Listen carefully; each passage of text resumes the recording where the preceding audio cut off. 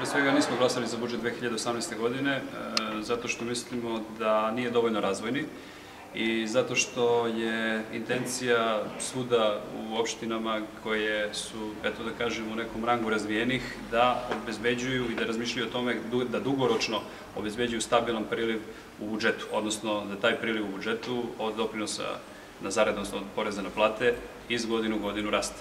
Dakle, to je jedan zadatak koji svaka ozbiljna gradska lokalna samouprava sa tim zadatkom mora ozbiljno da se pozabavi. Pogotovo kada je reč o Pirotu koji ima puno potencijala i puno razloga da upravo ide u susret problemima, dakle da razmišlja o budućnosti.